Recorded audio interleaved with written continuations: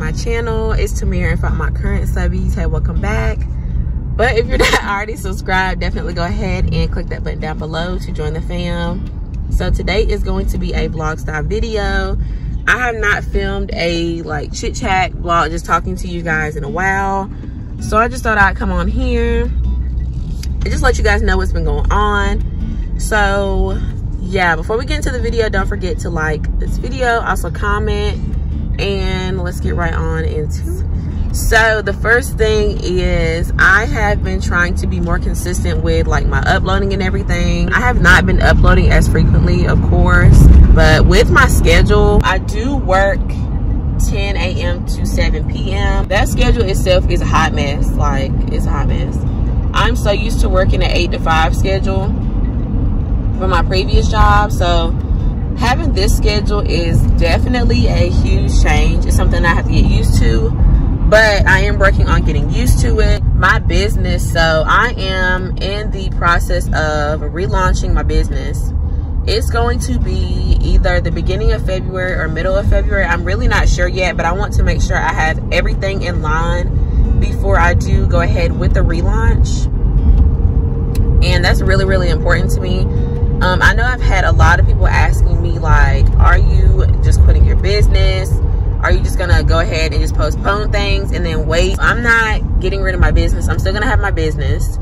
I am just taking my time to figure out what I want to do with my business, how I want to do it, when I want to do it. And if you are a small business owner, you definitely know where I'm coming from. It is a complete process and there is a lot to it. So for me, it's just all about having patience and taking my time with things, which I do not have a ton of patience. If you know me personally, my patience level is very, very thin, which is something that I have to work on. Working on having more patience. What else? also with my filming schedule so i am back to uploading twice a week it's either going to be monday and fridays or tuesdays and saturdays as of now it may be uh, tuesday friday i'm not really sure but i'm gonna try to stick and focus on two days a week and some weeks i will be filming three videos per week it just really just depends so more than likely i will have a sit down video, a vlog style video, just talking to you guys or taking you guys along with me to different stores. And then I will also more than likely have like just a shorter video just for you guys to have extra that week. So you guys have that extra video that week. But I'm so sorry, y'all. This sun is like all up in my face. Well, as I stated in my, I think it was my vision board video, that I am really focused on losing weight, guys. And it has been taking me so, so long to lose this weight. It is absolutely crazy. So I gained at least 30 pounds um, ever since this whole pandemic started. So this weight has just not wanted to come off of me. And it's been so frustrating. But I can honestly say I have not been eating as well as I should be, which is my fault. And I really need to stop drinking sodas. I need to stick with just water um, or some type of like really really good juice if you guys have some juices that you like please leave them down below i like strawberry lemonade type juices i don't really like fruit punch and i don't like anything watermelon it's just a no i'm trying my best to not drink sodas and just remove caffeine my everyday routine in general so I really do believe that my whole like work schedule really kind of throws me off to wanting soda. And I know that probably sounds crazy, but it really does. Like completely throws me off. And with having two little kids, it does make it a little bit harder for me to do certain things. Like if you have kids, you definitely understand where I'm coming from. I am going to try my best to get on some form of a diet. I know that working out, I'm not big on working out. Like I will try my best to work out I tried the Chloe Ting Challenge and y'all that lasted for all of four days I think it was. I did like 30 minute workouts before I was supposed to clock in for work. And then after that I honestly just completely stopped. But it's not for everybody.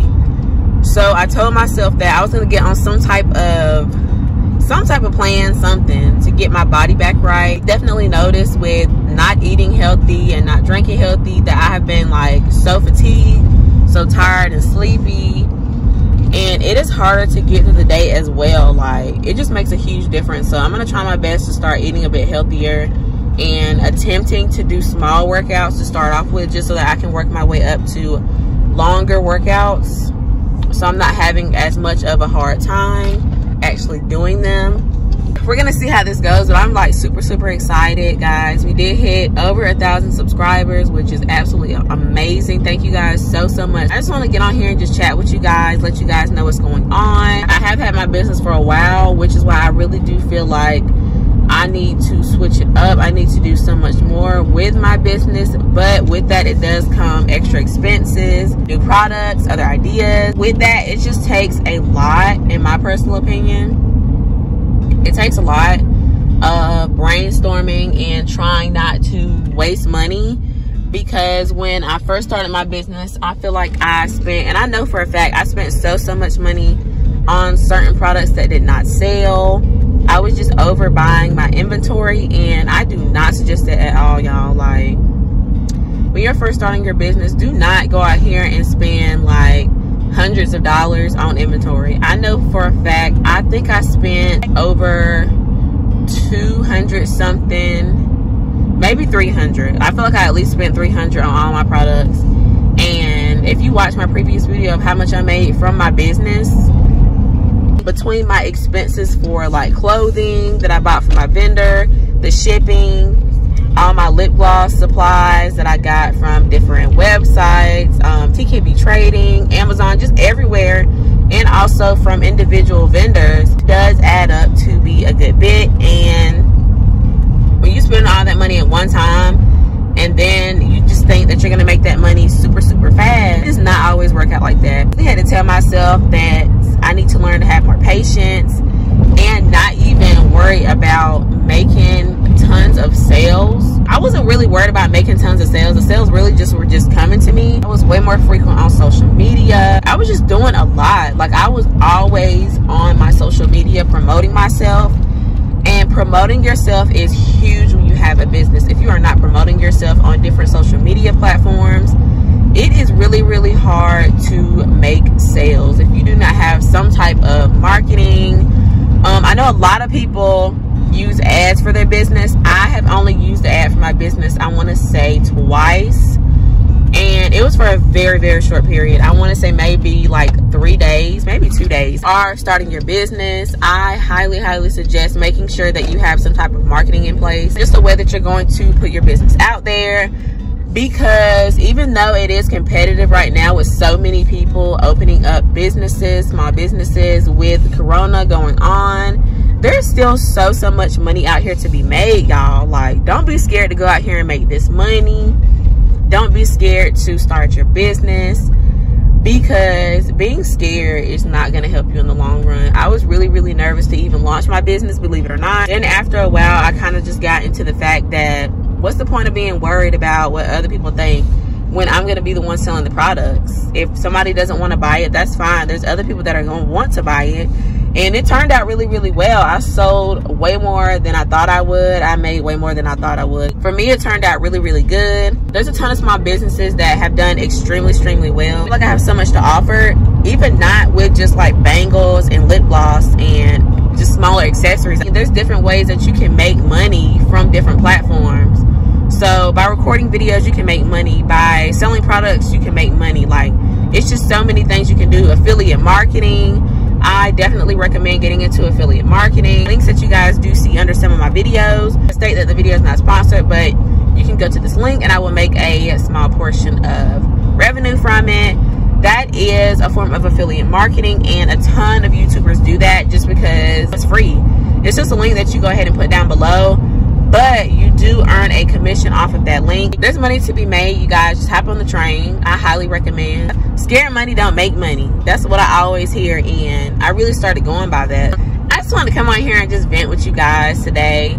It's Sunday, and I work tomorrow. Tomorrow's Monday, so I wanted to come on here and just talk to you guys, let you guys know how I've been feeling and whatnot. There's other things that I want to do as well, and other things that I'm in the process of doing, so I want to do a video on how to be productive and keep yourself on track.